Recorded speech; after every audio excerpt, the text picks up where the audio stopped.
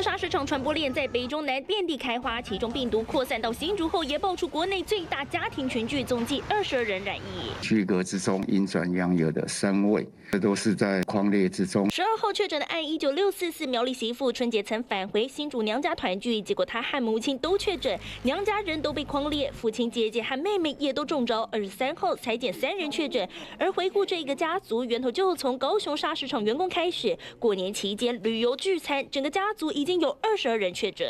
评估对社区的影响啊极为低，还是都已安排收治负压隔离病房治疗中。本土疫情开始逐渐收敛，但各地仍有不明染源。二十四号，桃园也再报一名新兴高中学生染疫，学生收到通知，赶紧返校接受裁剪。因为住院陪病的需要，在医院进行裁剪，一采呈阳性，那他的吸气值也很高。这就宣布说要检测，还有明天防性的停课。初步疫调确诊的高三男学生，因妈妈住院陪病，皮下裁剪阳性，而学生二十三号仍有进学校上课，全校五千六百一十六名师生紧急裁剪疫调，预防性停课。虽然学生的三名家人都是阴性，还要二采才能认定是否确诊，但就怕疫情再度失守，全校筛检要清除潜在传播链。记者叶伟林、张妹子采访不懂。